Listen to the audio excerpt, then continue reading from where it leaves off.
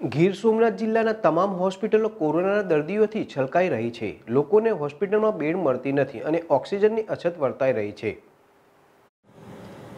વર્તમાન કોરોનાની મહામારી સમયે કોડીનાર પંથક માટે સુખદ સમાચાર આવ્યા છે. કોડીનારમાં ટૂંક સમયમાં રૂપિયા ત્રીસ લાખના ખર્ચે ચોવીસ બેડની કોવિડ હોસ્પિટલ શરૂ કરાશે. પૂર્વ સંસદ દિનુભાઈ સોલંકી અને પૂર્વ પાલિકા પ્રમુખ શિવાભાઈ સોલંકી દ્વારા અનુદાન આપી આ ભગીરથ કાર્ય શરૂ કરવામાં આવ્યું છે. વૈશ્વિક મહામારી કોરોનાની સ્થિતિમાં કોડીનાર પંથકના કોવિડ નાઇન્ટીનથી પીડાતા લોકોની સ્થિતિ અતિ ગંભીર બનતી જાય છે. કોડીનાર વિસ્તારમાં કોવિડ હોસ્પિટલની તાતી જરૂરિયાત ઊભી થઈ છે. કોરોના પીડિત લોકોને વેન્ટિલેટર અને ઓક્સિજનની જરૂરિયાત ઊભી થાય ત્યારે તેઓએ અંબુજા હોસ્પિટલ પર મદાર રાખવો પડે છે. જ્યાં સાઇટ ઉપરનું વેઇટિંગ રહે છે. સામે આર્થિક સદ્ધરતા ધરાવતા લોકો ત્યાં દાખલ થઈ શકે તેમ છે. આ સ્થિતિમાં વેરાવર સિવિલ સિવાય કોઈ વિકલ્પ બચતો નથી. જોકે વેરાવર સિવિલમાં પણ લાંબુ વેટિંગ છે આવા સમયે.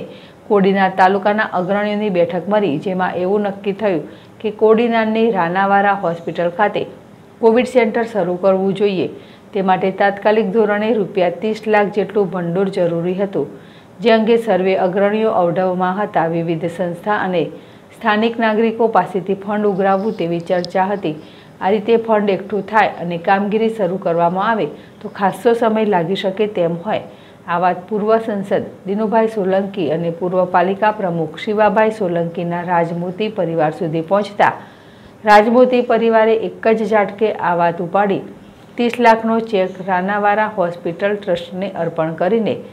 જિંદાદિલી બતાવી હતી. આ ઉપરાંત આગળ જતાં વધુ રકમની જરૂર પડે તો પણ કોઈપણ જાતની મૂંઝવણ વગર જણાવી દેવા રાજમોતી પરિવાર દ્વારા અગ્રણીઓને સાંત્વના આપી. ઓક્સિજન, દવા અને સારવારના અભાવે કોડીનાર પંથકમાં કોઈનું મૃત્યુ ન થવું જોઈએ. તે એક જ વાક્યને પડકાર સમજી રાજમૂર્તિ પરિવાર દ્વારા સર્વ સમાજને ઉમદા ઉદાહરણ પૂરું પાડ્યું છે.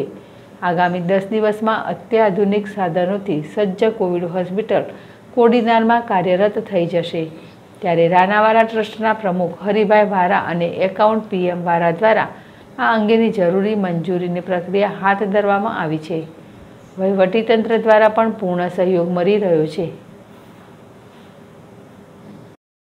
પરેશી જાદવ, જેડેશ ટીવી, ગીર સોમનાથ.